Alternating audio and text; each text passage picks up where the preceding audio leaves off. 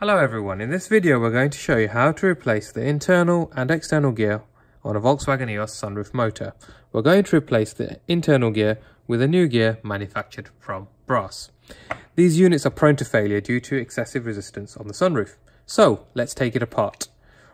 Unclip the plastic housing and place that to one side. Then you remove the washer, the plastic collet. Make note this is actually keyed. And the internal gear. Just give that a wiggle and it should come out. Place the spring to one side and remove the spindle.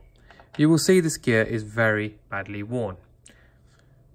Now, the external gear.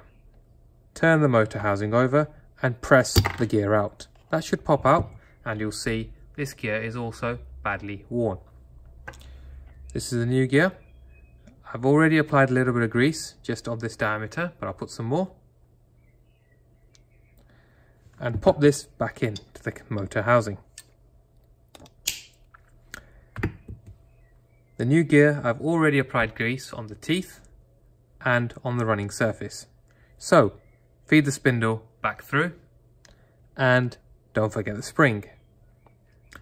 Place that into the housing and then put the collet back on, not forgetting it's keyed. Washer and put the housing cover back on, making sure all three tangs are clipped into position. And there you have it, you've successfully rebuilt the sunroof motor for a Volkswagen EOS. Thank you very much for watching, and if you found our video useful, please hit subscribe on YouTube.